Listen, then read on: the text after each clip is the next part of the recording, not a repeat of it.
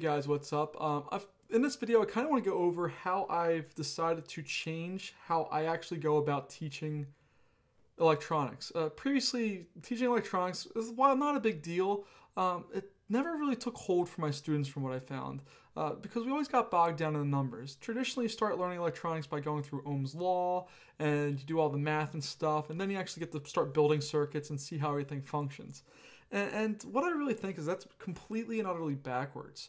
What I really want to do is be able to have my students understand the fundamentals of how circuits work, why they work the way they do, and then we can apply the math. And, hopefully, when we do that, they'll be able to understand how the connection between math and, and the theory work together. Because, in my experience, doing the math and then trying to connect the theory in later, um, or the actual physical action, doesn't work. Uh, and for this, I've chosen Minecraft um, to kind of be the bridge to help teach the idea uh, to get there. So we're going to go through and uh, I've recorded my screen at school. I'm uh, taking this video here at home. Uh, and then we'll kind of put them together and I'll walk through kind of the setup that I've done here.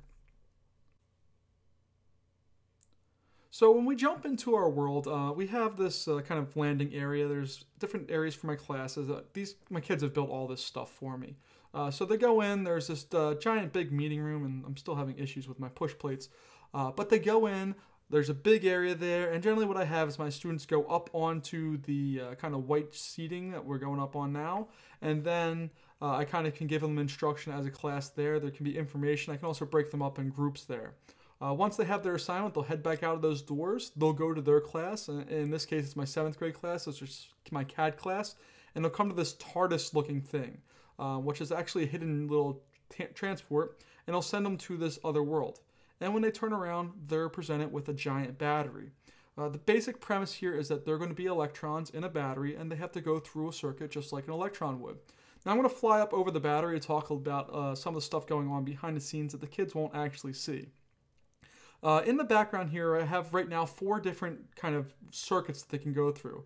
I have series, parallel, I have a series circuit that has resistors on it, and then I also have a series circuit that has a whole bunch of, uh, or should I say a wider path. Um, so I can go through and the students can complete that. And I also have little switches that I can use to control the doors. So the students can actually pop open a door, um, or I can choose to pop open a door and have them flow through.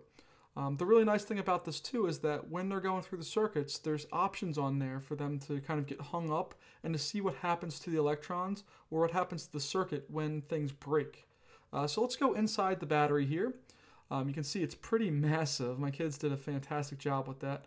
Uh, I'm going to focus on the two doors on the left hand side here. One is for series and another door is for parallel circuits because they're the most two basic type of circuits. Uh, so we'll go in here, we're going to start off with a series, and uh, we're going to run through the whole series circuit. As you can see, there's not a whole lot of choice. The students have to go through, uh, just like an electron would in a series circuit, they have to follow through and go on that straight path. There's no ifs, ands, or buts about it. That's the only choice they have. Um, I, I, try to have them race through it as fast as possible. And on later versions of this, I'm going to put in some doors um, that I can activate by switches where I can close a door and then they won't be able to continue their path, simulating a switch or a broken wire or something along those lines. Um, and then once they get through all this, they'll go back and they enter back into the battery, um, kind of completing the circuit like a normal electron would. Um, so I'm going to run over here and now we're going to go over to the other end. I'll actually fly. Uh, but we're going to go over to the first door, uh, which is for a parallel circuit.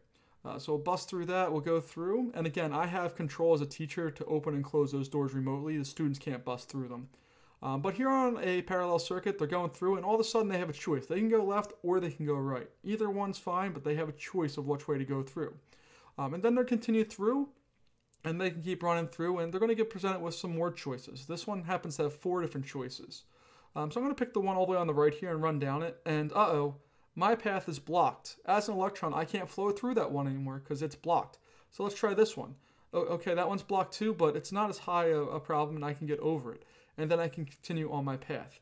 So the whole point of this is to show students that they have the ability in a parallel circuit that if a path is blocked, they can continue through another way. Uh, and then we're going to start connecting this back to the math here. But I really want them to get the idea that the electrons can go through and do everything. Um, and I also have this little hut in here that they can go into that will take them back to our original meeting place, which is awesome.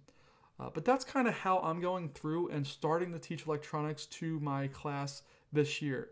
Uh, it, it's a different way of doing it, but I'm excited about it because it, it's different. My students love Minecraft and taking real kind of physical ideas, even though it's computer world, it's a physical world to them. Um, and I can go through and really create a, a, realistic sensation of what it's like to be an electron. And hopefully, I'm, i want that knowledge and, idea to transfer over to what we're doing in class. Uh, once we get to the math, once we get to building the real circuits. But right now, I'm focused on just building the idea of how this works, and then I can go back and construct and build everything from there. Um, but that's kind of my thoughts. Uh, if you have any th- extra thoughts or have suggestions, leave them down in the comments below. I'd really appreciate it. Uh, but until next time, I'll see you later. Bye bye.